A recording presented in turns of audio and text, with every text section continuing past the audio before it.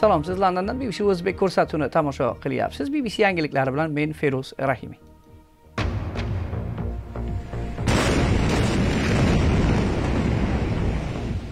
lebanon poytaxti beyrutda ro'y bergan kuchli portlash oqibatida yuzdan ortiq odam o'ldi va minglab odamlar jarohatlandi. Bedarak ketgan ko'plab odamlarni topish uchun qidiruv davom etmoqda. Tolibon raisi 400 nafar tolibon mahbusining qo'yib yuborilishi bo'yicha Lui Jirgani chaqirish qonunga zid ekanini aytib, davlatning bu qaroriga qarshilik ko'rsatgan. Davlat bu jirgadan nimani ko'zlamoqda? bunday o'ziga barat bersin to'rt yuz nafar qolgan hukumat o'zi aytib turganki bular jinoyatkorlardaki bular afg'onistonda teri bozori kassotga uchragani xabar qilinar ekan. Afg'on tijorlari davlatdan mamlakat ichkarisida bu sanoatga yetarli imkonlarning yaratib berishini so'ramoqda. Xususan faryobga shu po'jallobdan kada xor zalil yo'q hatto noniga yetol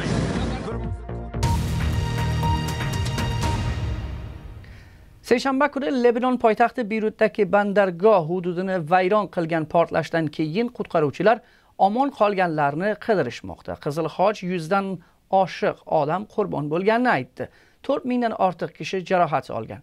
Lebanon jamhur raisining ta'kidlashicha olti yil davomida ikki ming tondan ortiq ammonium nitrit bandargohdagi anborda xavfli tarzda saqlangan. Yaqin sharq bo'yicha bbc xabarnigori jermi boyn ushbu voqealar rivojiga nazar tashlaydi. Guzorishda ko'ngilni xira qiluvchi tasvirlar bor.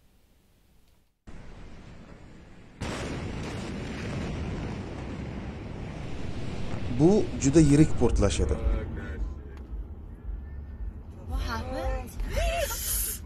Nimalar bo'lyapti ey xudoyim?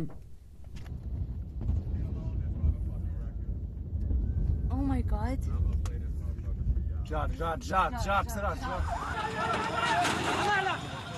o'nlab odamlar o'ldi. Bir necha ming odam jarohatlandi shundoq ham chuqur inqiroz ichida bo'lgan mamlakatning boshida endi bu ko'rgilik.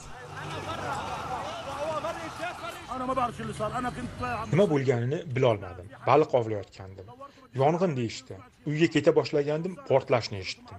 Keyin bu sodir bo'ldi. Bayrut bandargohida yong'in chiqqandi. Miltirashlardan mushak deyishadi. Keyin anchayin katta o't chiqadi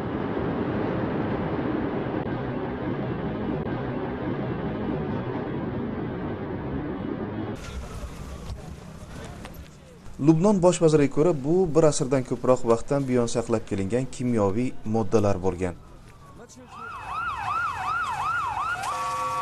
Ulardan o'g'it o'laroq yoki portlovchi vositalar ishlab chiqarishda foydalanish mumkin.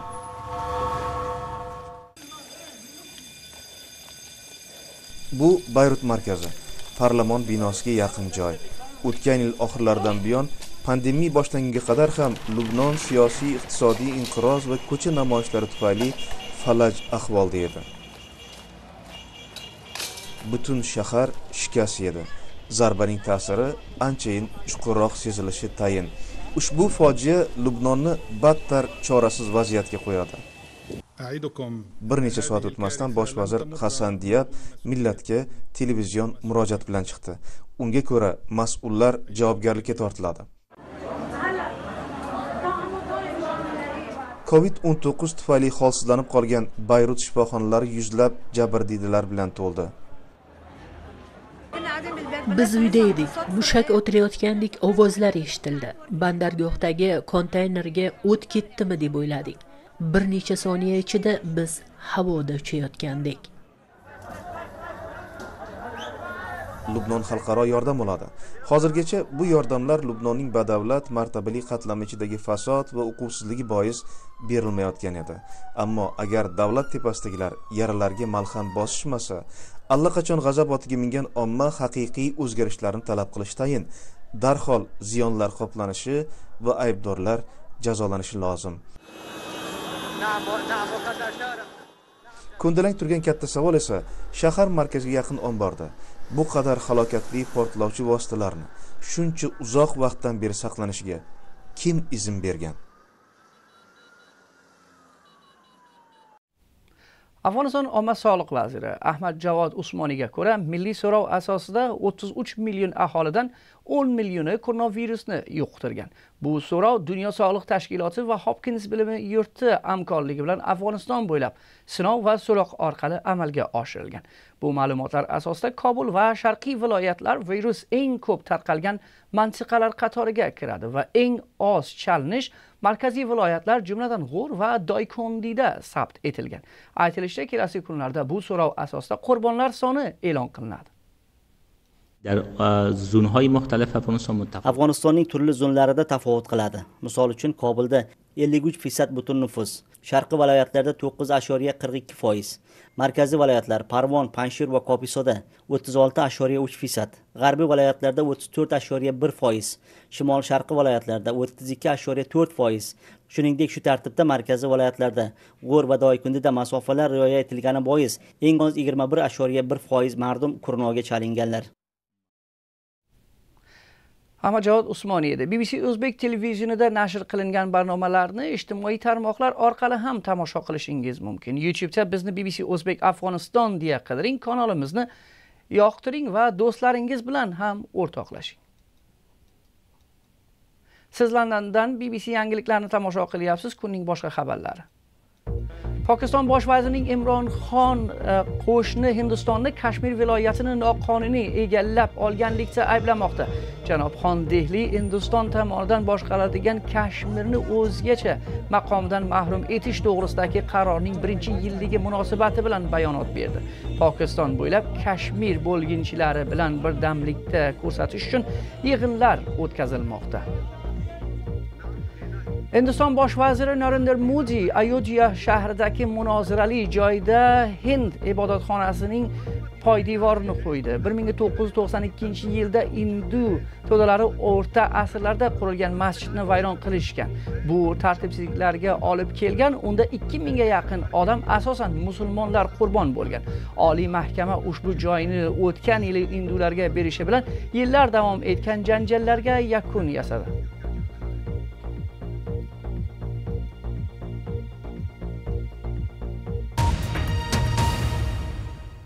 Afg'oniston parlamon raisi tolibon mahbuslarni ozod etish uchun loyajerga o'tkazish qonunga zid ekanini aytgan. Mir rahmon rahmoniy o'z facebook sahifasida bu masala bo'yicha afg'oniston jamhur raisi muhammad ashraf g'ani bilan uchrashgani va bu muloqot natijasiz tugadi deb yozgan. Rahmoniy janoblari parlamon va sano majlisi turganda loyajergani chaqirish qonunga zid degan fikrni jamhur raisiga yetkazganini aytgan. Tolibon ham bayonot chiqargan va bu jirganing qarorini noqonuniy bo'lishini aytgan. Biz siyosiy tahlilchi asadullo volvoliyjiga murojaat qilib bu jirga haqida so'radik. Bunday o'ziga baroat bersin. Shu to'rt yuz nafar qolgan e, hukumat o'zi aytib turganki bular jinoyatkorlardir bular haqqil abdi gaplari bor. Bu uchun biz qo'y berolmaymiz. Boshqa shu uchun rivojlangan tilagan mana shu aytadi agar bo'lsin. Bular tasvib etsalarki buni qo'yib bering o'sha to'rt yuz nafardan qo'yib bersin davlat. O'shani asosidan qiladiki bir bahona bo'lsin davlatga ularni ozod bo'lishi uchun.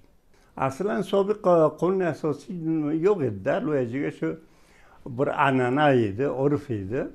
Bu katta mavzularni ustiga u qonun asosiy e, kechirasiz loyajirga doir bo'laydi اونه هم پرچالر دارد که چه دارد مردم دا دخلی یا غیره و مردم نشه کتلر کلیب مصابلر تصمیم آلیدلر. و دیگه بود تصمیم تصمیم وزیلر تصمیم لر یه من سیده باشه پرچالر تصمیم میده که تصمیم سیده اما قانون اساسی که این سیزده چل سیگه چگده او قانون اساسی که تعریف بود دلوه جرگه و اوشه تشکیلات بالا باشه ارنمه که باریده tarif bo'lgan zo'rishonni qonuniga.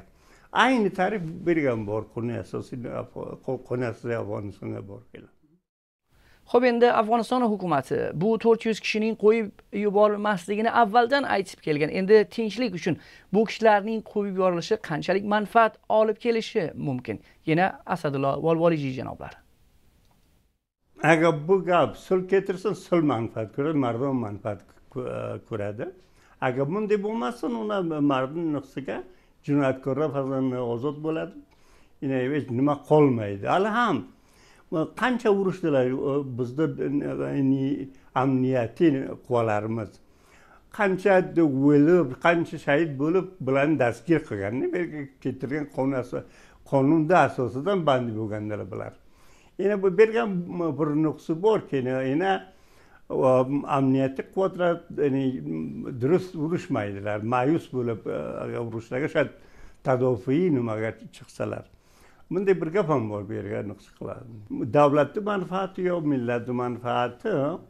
U vaqt ma'lum bo'ladiki bu e, tasvib nima tasvib bo'ladi. Qanday bular kelishadilar? Agar shu tariqdan agar sulh kelsin ham yaxshi mardumni nafiga ham davlatni ham nafiga agar sulh keltirmasa shu mashvara a'zolar ikki beri keladilar mashvara bilsa qo'yib bermanglar vaqtiga qo'yib bermadi endi past o'sha toliblar endi urushni boshlasalar pastga tahlilchi asadullo volvolijev fikrlari edi.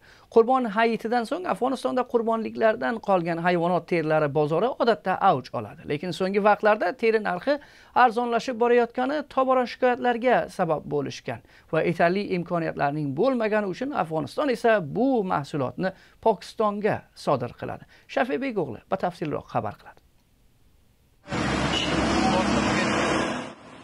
Qurbon hayiti ko'plar mol olib qurbonlik qilishi ortidan bozorda teri ko'payib ketgan. Qancha olasiz? Bir bo'lsangiz ho'p. Narxi esa tushgan. Arzon bo'libdi. Biltiram yaxshi edi. Bir sakson oladi yetmish oladi olib bir mana shu ellik rupiya xaridor. Ko'p yaxshi tijorati bor edi. Olib penan afg'onistonga xususan foryobga shu po'jalobdan kada xor zalil yo'q. Hatto noniga ehtiyoj bir muzir kolingni to'ldirmaydi qirib elirib olib tuzlay shunga yega yoki bitta xaridor bo'lsa. Oxirin ger xarob qarang mana har joy ko't bo'lib yotibdi hech kim jur'at qilib ololmaydi jalloblar teri ko'p xarid qilishmayapti. Bir ming teri olibman uch kun namozga har yil o'n ming teri oladim shu qo'rqishimdan sota olmayman ola olmay o'ltirman qarab o'ldim. Boshqa jalloblar mendan ganda bo'lib o'ltirib musulmonlar ovora darbadardi undan ilgari menga hoji poyinda deydi g'ulom hayot deydi kokomirakim deydi kobulga yiliga besh lay o'n lay teri oladi tuni men zang urdimki teri olaymi? Ayta olma dedi. Albatta o'shalar bir joyga yeb borolmaydi illati marzlar bog'liq ammo bozorda jonlanadi degan umid ham yo'qolmagan. Teri jalloblari davlatdan bu mahsulot mamlakat ichkarisida ishlatilishiga sharoit yaratishini talab qiladilar. Teri ko'p qimmat arzonga sotiladi. Bizani terimiz pokiston ketadi. U pokistonga korxonalar bo'ladi afg'onistonga korxona tuzalsa bir teri ellik rupiya sotiladi bir xom yuz rupiya sotiladi ko'p qimmat arzon. Shu yerga borib korxona tuzalsa bizaga shu yerdan tavlid bo'lsa xorijga ketsa charmi bizda shu o'zimiz shu ishlarga ko'p keyinga qolganmiz teri purishlar hammasi teri ko'p arzon sotiladi shuni boyad shu korxona shu faryobga mazorga kobulga shu ishlarga boyad tusalsa yerotga teri bozori sustlashgani bois ko'pchilik o'z qo'llaridagi sarmoyalarni yo'qotib boshqa kasblarga o'tib ketishgan. Mana olim shpadan terilaringizni puli bo'ladimi harchand keyingi yillarda davlat himoyati va xususiy sektor tomonidan ayrim viloyatlarda teri mahsulotidan tayyorlanayotgan charmdan oyoq kiyim tarboq belbog' va qapchiq kabi buyumlar ishlab chiqarayotgan korxonalar ishga tushdi. Ammo bu korxonalar umuman talablarni qondira olmagan. Teridan oz qismi afg'onistondagi korxonalarda ishlatilsa qolgan katta qismi faqat pokistonga sodir qilinadi. Shafiy Beg'o'g'li, bbc kobul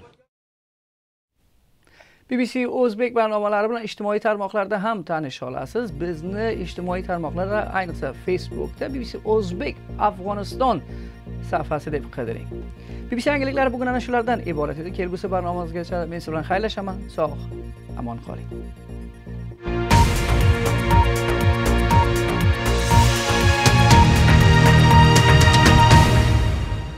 Música